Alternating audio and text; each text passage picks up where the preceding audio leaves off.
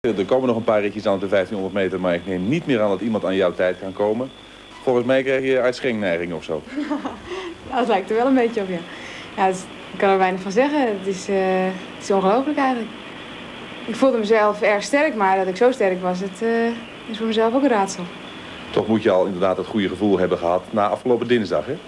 Ja, kijk, dat is voor mij een bevestiging, want eh, ja, het ging wel steeds lekkerder. Maar het echte zelfvertrouwen kwam inderdaad na die drie kilometer. En dan sta je meteen een stuk vaster op het ijs. En dat is eh, alleen maar een voordeel. Krijg je nou zo'n gevoel, gevoel van ik ben voor niemand meer bang, ook niet voor Karin Kania? Nee, dat zeker niet. Nee hoor. Het is eh tenslotte ook maar de vorm van de dag en het scheelt eh, niet zoveel met Karin. Dus wat dat er gaat, ik denk gewoon dat ik vandaag heel erg goed ben. En zij is vandaag in wat mindere vorm. Laten we naar je rit kijken en die in vergelijking met eh, Karin Kania. Je had met Van de Oever afgesproken een opening van rond de 27. Ja, klopt. Ik had eh, op grond van die drie kilometer had ik eigenlijk al een Nederlands record eh, kunnen rijden. Want dat was 2-4 en ik reed op de drie kilometer omgerekend naar de 1500 meter 2-3. Nou ja, dan weet je gewoon voor jezelf eh, dat het harder kan. Maar aangezien ik niet echt een, een snelle starter ben, ja, weet je toch niet precies hoe hard het dan wel zou kunnen. Aan de andere kant, eh, het- gaat dit jaar een stuk sneller ook op de kortere afstanden. Dus ik ging eigenlijk met eh, vol vertrouwen ging ik wel van start. Jouw opening was 26,87. Daar verlies je dan zeg maar zo'n 16e seconde op Kania. Maar die ronde daarop moest je doorkomen tussen de 57 en 57,5, zegt Van de Oever. Ja, nou, ik heb eigenlijk alleen maar naar de, de, de eerste doorkomst gekeken. En die eh, was redelijk goed, 26 ook. En dat was voor mezelf eigenlijk een, een graadmeter van nou, het zit snor. En toen ben ik eh, gewoon keihard door gaan racen. En ik heb niet echt op, eh, op de rondetijden meer gelet. Het was voor mezelf eigenlijk eh, heel vreemd, want ik reed en opeens dacht ik van ja, maar ik kan toch nog harder. En toen ging ik versnellen. Het ging allemaal zo raar. Ik weet niet, ik was echt een beetje aan het spelen, leek wel. Maar dat is toch een teken van macht, denk ik. Je, voorla of je winst pakte je in de voorlaatste ronde op Kania. Ja, Dat weet je? Ik heb net de rondetijden geke- gezien en nou ja, dat was dus eh, ik denk wel een behoorlijk snelle ronde, ja. De laatste 200 meter gingen niet zo heel soepel. Maar dat was meer technisch eh, als dat ik echt eh, helemaal kapot zat of zo. Ehm, heb je die rit van Kania gezien? Klein beetje. Want ik moest natuurlijk pal na haar en ik wist ook niet precies wat zij reed. Want dat was ook mijn reactie na de race. Van ja, heb ik het of heb ik het niet? Ja.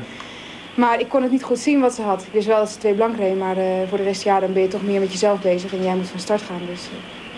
En twee blank is dan 17e van het wereldrecord af. Krijg je dan niet iets van, dat is mij te hard?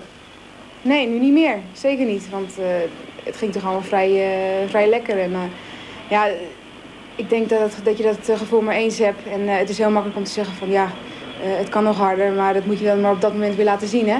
En in, in zo'n toernooi is dit, ja, dan ben je toch altijd meer ja, gespannen. En bij mij gaat het dan altijd, altijd een stuk beter. Dus het is de vraag of je het dan de volgende keer wel zou kunnen halen. Is de 1500 meter nou je favoriete afstand? Nou, ik weet wel, onze vroegere ploegarts, Rob Pluimers, die zei altijd tegen mij van eh, de 1500 meter is jouw afstand. En ja, daar zie je iemand raar aan te kijken natuurlijk. Maar eh, ja, op de 3 kilometer en de 5 kilometer lukt het eigenlijk veel beter. Maar ik heb daar wel van, van tevoren bewust aan gedacht. Van, eh, hij heeft dat ooit eens tegen me gezegd. Ik voel me nu sterk, dus profiteer daar maar een keertje van. En kijk maar wat je ervan kan bakken. Als jij nou ook gelijk krijgt met die 3 en die 5 kilometer, heb je wellicht drie keer goud.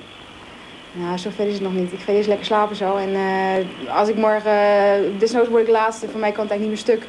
En eh, ook met die gedachte ga ik ook, eigenlijk ook van start. Nog één ding, je hebt bewust gekozen naar die 3 kilometer en het goud voor afzondering. Hè? Is dat bevallen? Ja, tuurlijk. Kijk, ik moest nog een race rijden en dan kun je, kun je gaan feesten, je kunt van alles gaan doen. Maar dat is denk ik niet de juiste voorbereiding. Ik heb voor de 3 kilometer ook mijn eigen gang kunnen gaan en dat is me prima bevallen. En zo moet het ook, denk ik. En eh, ik probeerde dat ook een beetje vast te houden. Dat is best wel moeilijk, want iedereen zit aan je te trekken. Maar het is gelukt. Als je nou zo meteen weer bovenaan het schavotje staat en je hoort het Wilhelmus, ben je dan weer even nuchter? Of raak je er al gewend? Nou ja, ik denk even nuchter. ja, zeker weten. Gaan we er zo meteen naar kijken. Nogmaals gefeliciteerd. Oké, bedankt. Ja.